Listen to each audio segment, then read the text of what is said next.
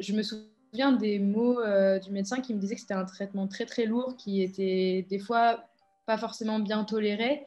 Et en fait, j'étais tellement contente euh, d'avoir trouvé euh, bah, une piste qui semblait être un peu plus réaliste que, que ce qu'on m'avait donné jusqu'à présent, que en fait, ça s'est passé mieux que ce que j'aurais pu espérer. C'est-à-dire que déjà, au bout d'un mois, un mois et demi, j'avais énormément de symptômes qui avaient disparu.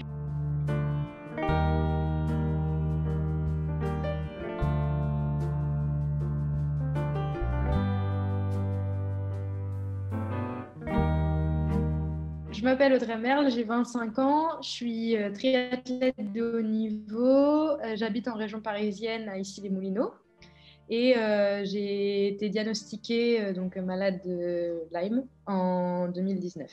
J'ai commencé à avoir des problèmes de santé un petit peu général en 2000, fin 2015, surtout début 2016. ça se manifestait par des des problèmes, on va dire, euh, au quotidien dans mon entraînement. J'étais très fatiguée, euh, j'avais des, notamment des douleurs aux articulations. On a mis ça sur le compte d'un surentraînement puisque euh, c'est mon quotidien et que j'ai énormément d'heures d'entraînement donc à, assumer au quotidien. Et donc c'était un petit peu la cause facile au début. Après, il y a eu plein d'autres diagnostics qui ont été posés. J'avais consulté plusieurs fois en médecine interne pour essayer d'avoir des réponses ben, à ces différents problèmes.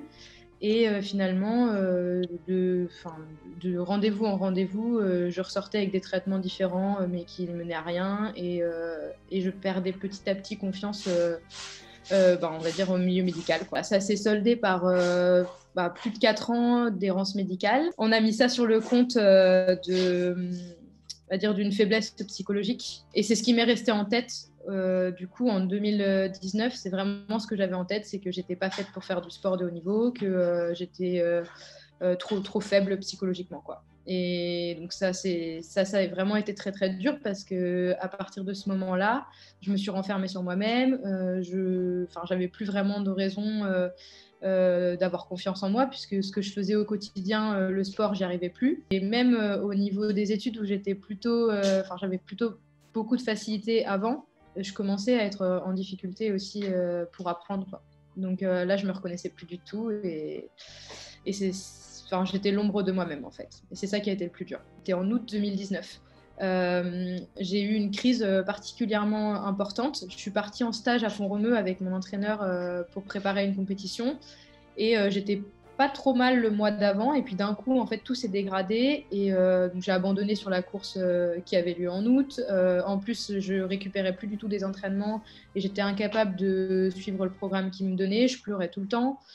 Et euh, là, je suis rentrée et je me suis dit qu'il fallait que je fasse quelque chose, euh, enfin que c'était pas possible que je continue comme ça. Et c'est ma maman qui, euh, qui, a insisté en me voyant dans cet état-là et qui m'a dit qu'elle me connaissait trop bien pour savoir que c'était pas dans ma tête et qu'il y avait vraiment quelque chose qui n'allait pas.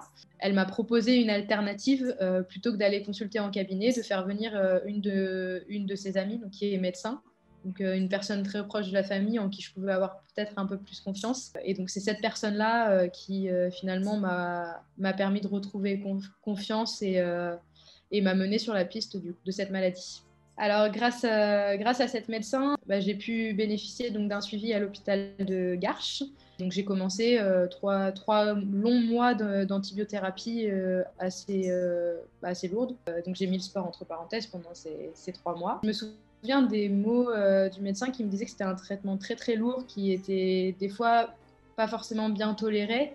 Et en fait, j'étais tellement contente euh, d'avoir trouvé euh, bah, une piste qui semblait être un peu plus réaliste que, ce qu'on m'avait donné jusqu'à présent, que en fait, ça s'est passé mieux que ce que j'aurais pu espérer. C'est-à-dire que déjà, au bout d'un mois, un mois et demi, j'avais énormément de symptômes qui avaient disparu.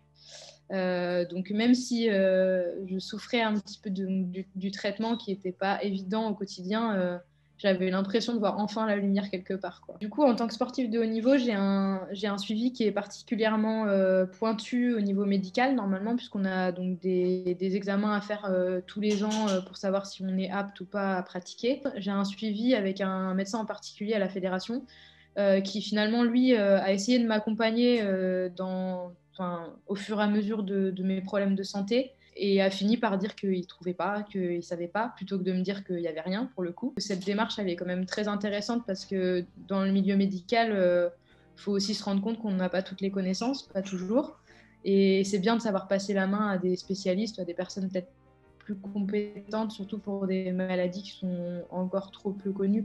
Euh, du coup, après le, traitement, donc trois mois après avoir commencé, euh, j'ai repris euh, de manière assez raisonnable le sport dans un premier temps. Trois, quatre mois, je refaisais déjà quasiment tout ce que je pouvais faire avant à l'entraînement. Donc ça n'a pas toujours été évident, on va dire, dès les premiers instants, mais rien que de me sentir mieux de jour en jour, en fait, ça m'a, poussé à rester optimiste et à, me dire que finalement, avec un petit peu de, de, temps, de patience, les choses allaient revenir euh, à la norme. Donc, donc voilà, je sais que c'est long et je sais aussi qu'aujourd'hui, je suis peut-être pas encore à 100%, mais j'ai, l'impression de, revivre et de pouvoir à nouveau repratiquer mon sport pleinement et en pleine possession de mes moyens. Effectivement, je pense que j'ai compris euh, assez vite que le sport, c'était donc pour moi mon quotidien, c'était mon, métier, mais que c'était aussi quelque chose qui était devenu indispensable euh, pour gérer aussi euh, ben, cette maladie. Qu'en fait, dans un premier temps, je pense avec toutes les douleurs que ça peut occasionner, on a tendance à s'éloigner de la pratique sportive, à se dire peut-être qu'on se fait du mal, enfin, qu'on se fait du mal en plus, quoi.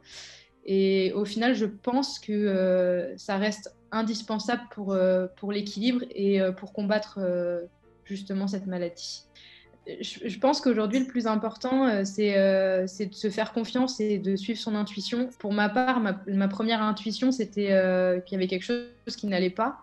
Et en fait, avec le recul, j'aurais jamais dû me laisser embarquer dans ces histoires de, problèmes psychologiques alors que j'en étais euh, intimement persuadée, euh, j'étais intimement persuadée que c'était pas ça. Donc je pense que le premier message que je pourrais porter, c'est celui de, se faire confiance, aussi d'accepter euh, l'aide d'autres personnes.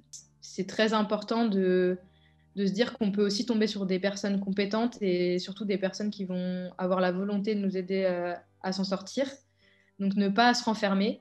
pour ma part, j'ai la chance de pouvoir en parler aussi dans les médias, euh, de pouvoir en, parler un petit peu et d'ouvrir les yeux aux gens sur cette maladie. Euh, ça pourra aider plein d'autres personnes après. Euh, tous pris en charge, Lyme Protest 2021. Voilà, soyez très prudents parce que forcément les tiques sont de plus en plus nombreuses dans nos parcs et jardins et évidemment on a envie d'aller dehors, de profiter un petit peu du, beau temps. En plus après le confinement, on a très très très envie d'aller se balader en forêt. Voilà, donc euh, soyez vigilants, faites très attention. Opération tous prise en charge pour le Line Protest 2021.